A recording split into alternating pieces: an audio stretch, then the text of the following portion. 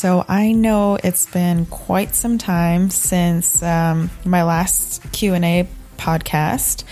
Um, but with that being said, um, after the last fight, I just wanted to take some time to myself and regroup and just kind of decompress, figure things out. And um, so after the fight, I just hit a road trip and took my dog, and um, it was amazing. I went hiking. I, I drove from I started in Kansas City.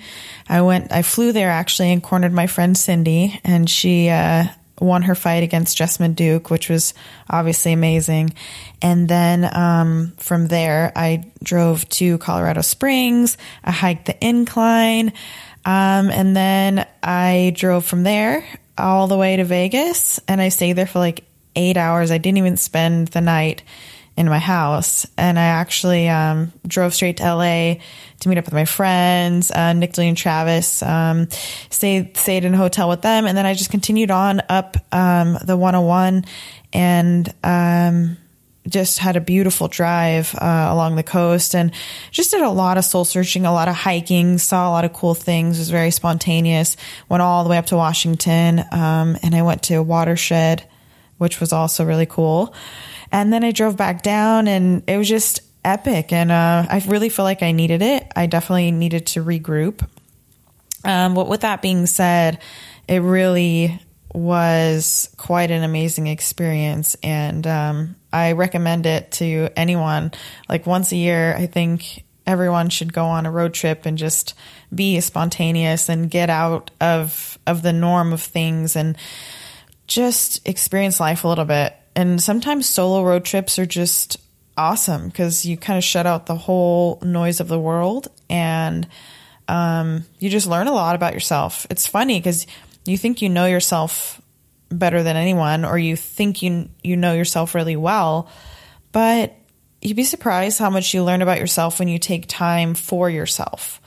And um, i definitely felt very refreshed and very um, regrouped and willing to get back into um, really hard training and you know more motivated i just needed to like take a time out for a second been on the grind for such a long time but I'm definitely very excited to get the Miesha Tate show going again. I do love doing my podcast, and um, since the the hiatus, I've released two episodes, one with Dr. Edwards and um, one with a, a, couple really good friends of mine who actually helped me produce this podcast. So that um, that would be Lacey and Chris and um, they're just amazing people who share my vision of passion and they're in a completely different direction with their passion but it's a similar language passion is passion and we had a, a really great talk so if you want to listen to that one that's the most recent one before this one and then um so yeah, back to the the podcast and the questions. So I, I did post on my Facebook and asked if there was any questions that um, you would like to submit and have answered. So I went ahead and picked out some that I think would be um, suitable for this this podcast. And um, I'll go ahead and start with Rob. First question is How dark were the days when you lost to Miss Ronda Rousey? And how do you reconcile that darkness in conjunction with the victory over Miss Holm? Which tools within yourself allowed you to fight towards the brighter day? Well, that's a that's um, a very heavy question, a very loaded question, but um, I'm happy to answer it. Um, you know, when I lost to Ronda, I mean, I've been pretty honest in this in that it was horrible. It was just one of the worst feelings in the world, and it sucks anytime you put a lot of work into something and it just doesn't go your way. And um, it was really, really, really hard on me as as one could imagine, you know? And um, that's when you find out who your true friends are, the people who are still there for you through through thick and thin. And um, you know, luckily I had a wonderful support system. And um, I just guess that I realized that one loss doesn't define me and, and a win doesn't define me either. I mean, there's so much more to me than just the fighter that people see when I step into the octagon. There's so much that made me the person that I am to be able to even get to that point just even getting to the point where I step inside the octagon is a huge accomplishment. And there's so much to me that gets me to that point that I have to realize that regardless of the outcome of that one event, there's so much to be said about everything that I did to get to that point and all the life lessons and everything that that this sport has taught me. And so um, you know I just try to look at it that way. And I love the uh, saying that you know the past is a place of reference not a place of residence. So that really resonates with me and it, it definitely hits home because I want to be able to reflect on my past and I want to be able to learn about it and better myself, but I don't want to live there. I don't want to stay in the past. I don't want to keep myself down. I don't want to not fight because of it. Um, you know, and I, I just want to do what makes me happy. And to be honest, um, as hard as it can be to take those big, heavy losses with the whole world watching, um, it's still rewarding in the sense that there's something still to be gained from it, even in the loss. And I think no one stays undefeated in life. So you just have to, to take it for what it is. And either you can learn from it or you don't. And some people are made for it and some people are not. But I still find, I still find some sort of, um, maybe satisfaction isn't the right word. I definitely don't feel satisfied after I lose, but I, there's something I still gain from it. So, with that being said, I can still find some kind of positive to take away from it. So, um, and and in connection with you know the win over Holly, um, obviously that was one of the most amazing days of my life. So, it's chasing that dream that's addicting. And um, you have to realize that there's going to be bumps along the road.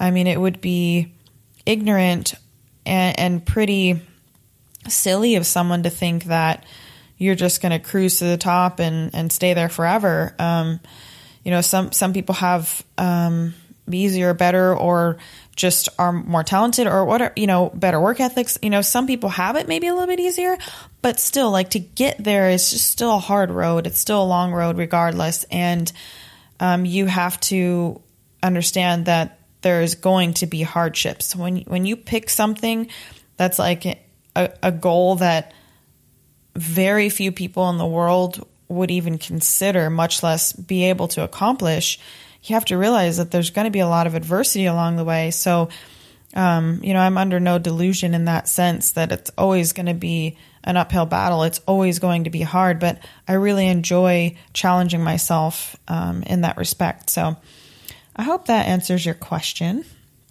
Um, next question, and hopefully I'm saying this name right. I think it's Aisha. Um, considering the fact that you had trouble cutting weight for the fight with Amanda, do you think it was because of the new diet you tried that was low on calories?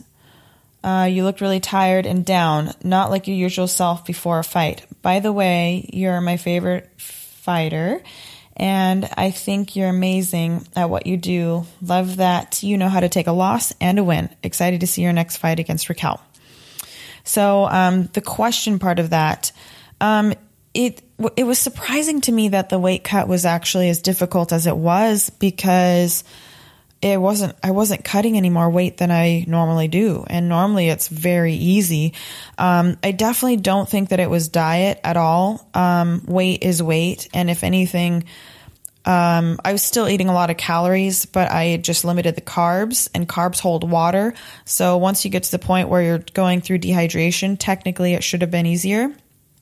Um, but I think it was just honestly stress. Just I had a lot of things going on, um, and I'm not so great at delegating or asking asking people to help. So um, sometimes I, I tend to to overload myself and the people around me don't necessarily realize unless they're around me 24 7 that um I'm putting so much on myself.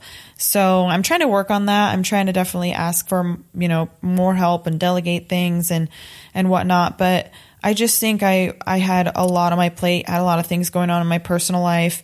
And, um, you know, it's life. It happens. And it just probably wasn't convenient timing for me.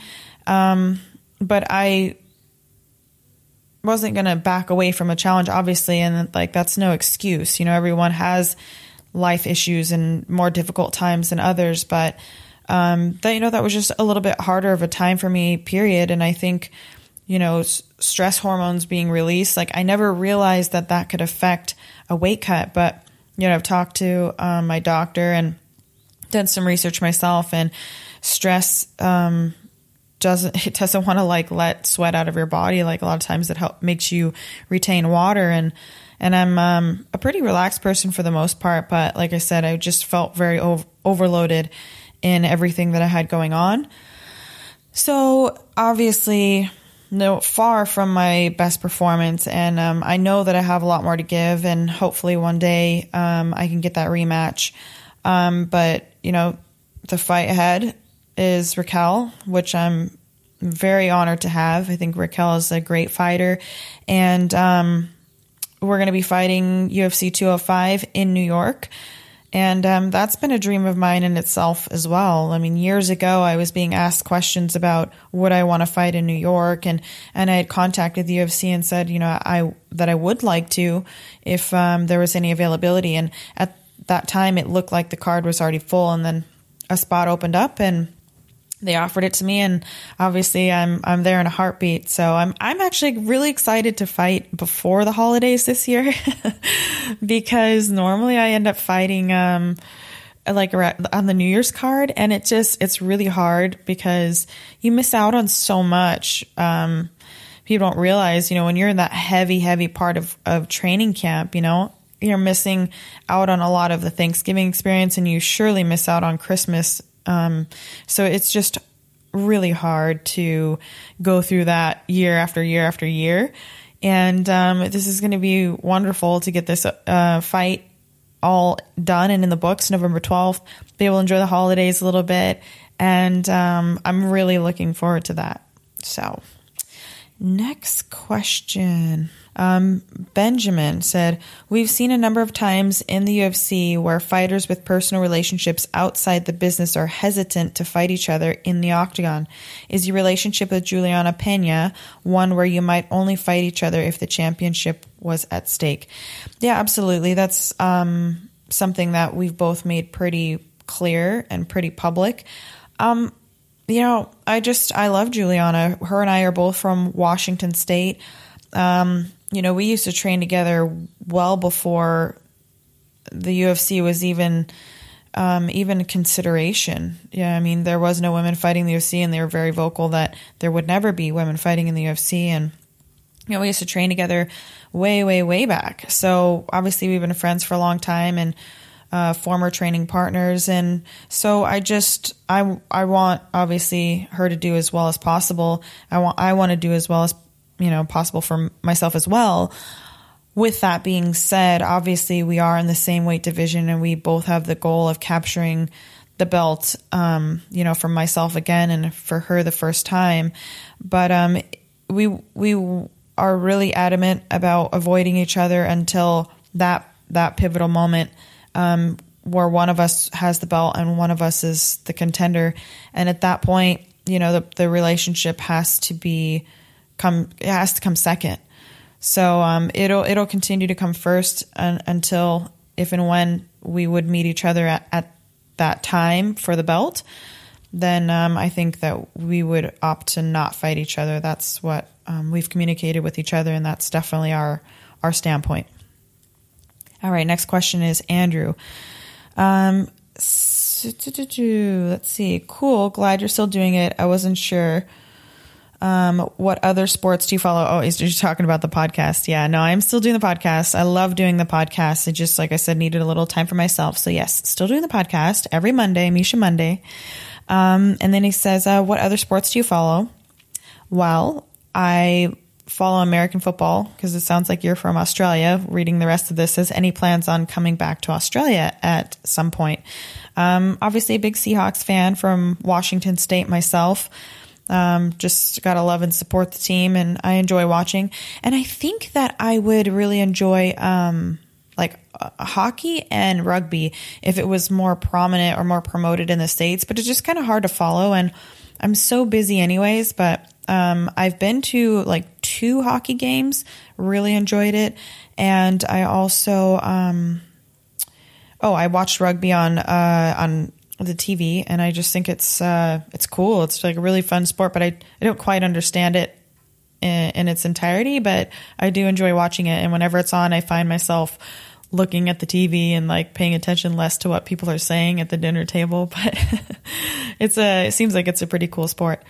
Oh, oh, and any plans on coming back to Australia? Absolutely. Oh, I'm definitely coming back to Australia. Australia was very cool. And uh, I have a friend of mine, Dylan Resnikov, who lives in Australia. Um, and they, um, him and his brother own a gym called VT1 Academy. Um, so there's really great training out there for me as well. So definitely, definitely plan on coming back. Um, but that's in Sydney. I'm not sure where you're located. All right, next question is Robbie. What do you find worse, nagging little injuries that hamper your training or big ones that keep you out of training altogether? Um, honestly, I kind of prefer the big injuries in a weird way because the nagging injuries are something you're always trying to train through, and oftentimes you make them worse or you aren't sure like and you end up pushing yourself too hard and they become big injuries which is just it's frustrating. It's just irritating when you're kind of like on that teetering line and you're maybe in a training camp and you're really trying to push hard but not too hard. And then you have to limit what you're doing and you have to constantly worry that like is this going to get worse? I mean when it's a big injury it's like clear cut and dry. You know what you're in for and like it forces you to limit yourself to where you can get healthy again. So um, I'd rather just like have a big one and get it over with than have something that's like persistently ongoing that you have to try to baby and try to work through and inconvenience your training partners with like, oh, don't, you know, do this or don't do that because I'm hurt. You know, it's just, um, and it wears on your patience when you have like a long nagging injury. It's just maddening. So, um, yeah, I would go with the big one, get it over with. um, oh, my, that's the name. My asks, many women in the bantamweight division are seeking out title shots. Who do you think is the next deserving candidate against Amanda Nunes? Well, depending on if and when Ronda comes back, uh, you know, obviously I think if she wanted to come back and fight for the title, cool. But um, it's still so up in the air. So I'm just going to answer the question as though Ronda is out of the picture. Um, I think Juliana Pena is next. Um, she's won all her fights in the UFC, and she's the first female fighter on the Ultimate Fighter uh, to win the Ultimate Fighter. Excuse me. And um, she's a great fighter, and I think she possesses everything that you could ask for for a contender. So I think that rightfully so, she should be next in line. And, um, you know, hopefully that's what we'll see. And um, I think Amanda needs to uh, to to stay busy. I think she needs to defend her belt and not you know not wait for Ronda. That's my opinion. Um, because I think you know the true champ gets in there and and gives the um, proves that that why they're the champ, you know. So I don't know what her plans are. Um, you know, I'm not saying that she's she's waiting for Ronda. I don't know, but um, I think if Juliana is ready to go, that um, her and Amanda should should have a go at it. So that's my opinion. Danny is asking, he says, Great to have you back in the cage and back with the podcasts, Miesha. Uh, what sort of music do you listen to when you go on to get fired up? And what do you listen to to relax? So um, I'm a big fan of of Eminem. I love his music. I'm very lyrically inspired because it's kind of like listening to a motivational speech and music at the same time. So anything that's really empowering. I'm also a big fan of Nicki Minaj because again, lyrically, she's just so talented and just has a lot of songs about pushing through adversity and overcoming those things and people trying to hold you down and just life messages and life you know life problems um, that that can occur for any person and just trying to get over those hurdles in life. Love that. Um, also like linkin park a lot. It's just kind of a little bit more rock and heavy and um, you know that's fun to work out for me. As far as relaxing music um I don't know. I'm pretty open, honestly. I'm I'm not a um not a very picky person when it comes to music. Obviously, it's relaxing. I don't want anything that's going to make me want to dance. so um yeah, I, I'm pretty open. I, I can't say that I, I necessarily have one type of music. Let's see. Okay. I'm sure that I'm going to say this name wrong, but um, it's Adelard, I think, says, uh, Hi, Miesha. I have two questions for you, but first and foremost, I want to tell you how much I admire you for who you are and what you do in and out of the ring. Well, thank you. Um, number one, I remember you saying that some of the bruises look worse than they really are. There must be bruises that are worse than they appear to be. Um, yeah, um, that's yeah, that's true. Um, sometimes a lot of the bruises, metaphorically speaking, are internal. They are um, bruises that people don't see on the outside, and um, so so there's definitely bruises that happen from fights and losses and things like that that people don't really see that you carry the burden of healing on your you know on your own or just with your close friends but that's fair to say. And then sometimes uh you know really realistically speaking a bruise will look terrible on, the outside. You see a bruise on the leg or whatever and i'm like eh, doesn't even bother me. So it it's definitely works both ways. There's um more to bruising physically and metaphorically speaking than meets the eye. Okay. We have Jonathan asking, was there added pressure when your fight against Amanda Nunes got moved to the main event at UFC 200? Oh, of course. I mean, there was definitely added pressure. Um, and, uh, you know, but, but like it was welcomed. I, I definitely don't, don't, um, I, I don't know. I didn't, I didn't feel like it was going to make a difference in, in my fight performance. And, and I don't think that it did. Um, I mean, the, the fight was going to happen either way. So it, it does, you know, it doesn't necessarily matter if it was semi co-main event, co-main event or main event. Um, it, you know, it's still the same fight. So I didn't really look at it as a negative. Um, you know, but yeah, you know, I had a, had a lot on my plate. I had a lot of things going on otherwise. And, um, hopefully I, I think that most of my fans know that that's definitely far from a typical experience for myself. Um, so I know I have a lot more to give. And granted, I work myself, work, work back to that rematch. I'm positive, um, you know, that I can put on a much better fight than that. And I'm confident that I can get it to go the other direction and, and avenge a loss. Um, so that's definitely on my to do list. And, um, hopefully, sooner than later. You know, I want to get back in there, fight, stay busy, um, and and work my way back to avenging losses and getting the title back. That's what I want. Okay, Dean says, um, "What's the worst thing about losing your first title defense after you worked so hard to obtain the belt?" Um, there's a lot of terrible things, to be honest, Dean.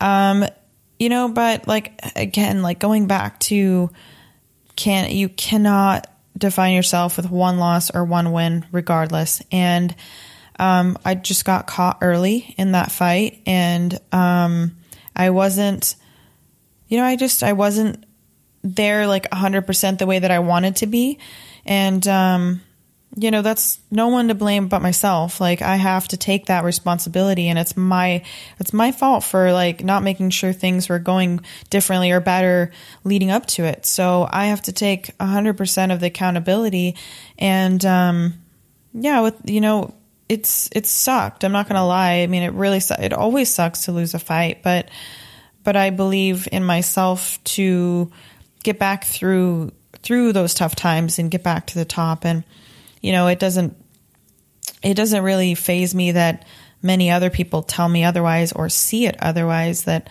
you know um, I'm done or I see a lot of com- comments that I should just retire. Well, you know, wait and see when I get in there and I fight Raquel UFC 205 you know, then we're going to have people jumping back on the bandwagon. So it's all good. Um, it's part of it. Um, but, but, um, I'm far from done. And that was definitely probably the worst, um, performance of my fight career.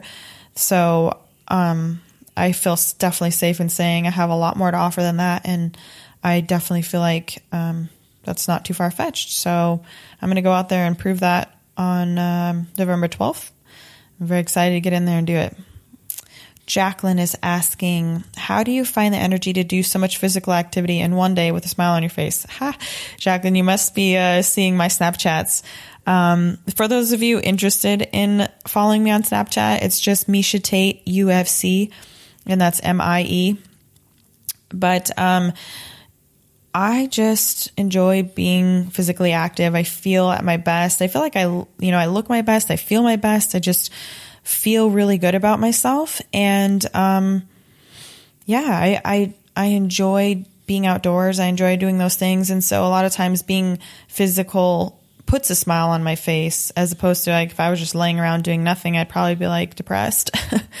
but, um, not that it can't be hard or be vigorous or wear you out or, you know, take your smile away when you're in the middle of, of the, the hard, hard workout. But at the end of it all, once it's done, I always feel better than I did um, before I did it. So, yeah. All right. Um, coming to the last two questions. Jose is asking, what do you say to those that feel extreme, um, oh, ex- feel the extreme weight cut you guys go through is dangerous to your body? And then in parentheses, but those videos are scary. Um, well, I can't argue that. I definitely think weight cutting is bad for the body and not good for, um, not good for people. I mean, you can't argue that. No, nobody's going to argue that. It's, it is dangerous and it's really bad for your body and it's taxing on it. And so is getting punched in the face, I'm sure. So, I mean, we picked a, a very demanding sport. It's very demanding on our bodies. And, um, the weight cuts are, are difficult. You know, they can be difficult. They can be really challenging and very hard on your body. But, um, it's just part of it, I guess. It's what, what we're accustomed to doing. So, uh, we try to make it as easy as possible and, you know, make the hydration process as, um, you know, as effective as possible and refueling. But yeah, it's it's not good for you. I can't lie. But I, I also think that, you know, picking a contact sport where, you know, we take head trauma and blows to the body and, you know, it's common for people to break ribs and tear knees and blow out their backs and all kinds of um, of things. You know, that's also probably I'm, I'm going to say probably not good for your body either. So I guess it's just a matter of choice. You know, nobody's making us do it. But I hear what you're saying. And uh, last question from Jarek is uh, How's my nose? Um, yeah, obviously, I suffered a broken nose the last fight. It's not the first fight, probably won't be the last fight that I suffered a broken nose. It's um, more annoying than anything in the healing process because it's just hot and inflamed, and it just it's it's just annoying to be honest. It, it's you can't sleep that well and like it's always running and it's just it's it's not even so much the, the I mean it doesn't hurt when I you know anytime that I've broken my nose in a fight I don't feel pain from it it's just annoying and um the heat the healing process, like and having the puffy eyes and puffy sinuses and not being able to breathe for you know a couple weeks is pretty irritating. But um, uh, to answer your question, no, it's fine now. It's it's healed up and it's uh, definitely not my first rodeo with a broken nose. So you know, it's um, one of those things that I'm accustomed to dealing with, and it's part of fighting, and it happens, and I'm okay with that. Um, one day once I retire, I'll probably get it fixed, put put all back together. But for the time being, I'm just gonna let it be. And uh, if I break it again, then I break it again. But um, no big deal. It's it's part of it. Um, all right. Well, thank you guys for listening. Um, you know, it's definitely uh, really it, it's like a weight off my chest to just be able to talk about all this. You know it's been a little while since i felt comfortable really opening up and even you know wanting to discuss this these kinds of things. And you know i appreciate the the true honest questions um, you know I, I definitely don't shy away from the difficult ones i i my goal with this podcast and the Miesha Tate show is to be transparent, you know, is to be as transparent as possible to allow you guys to see more of, of the real Miesha Tate, not just the one that's the fighter. Um, so I, am not trying to sugarcoat anything. I'm not trying to, to, um, you know, cause any illusions by any means. Like I, I really just want people to get a sense of the real me and who I am. And that's what this whole show is about. So, I appreciate you listening. I appreciate the questions. Thank you guys so much. And um, until next week, uh, I guess I'll, you guys will hear from me later.